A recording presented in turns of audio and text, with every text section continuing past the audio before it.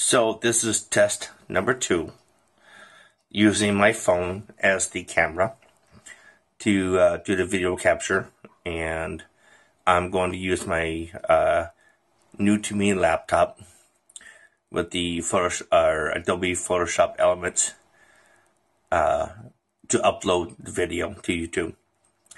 So uh, again, thank you so much for your patience and taking the time to see this video. Uh, if you have any comments, please post them below. Uh, I welcome them. I'm looking for feedback. So uh, again, I'm bad for uh, sorry for the backdrop.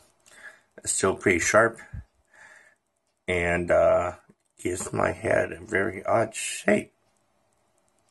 All right. Thanks.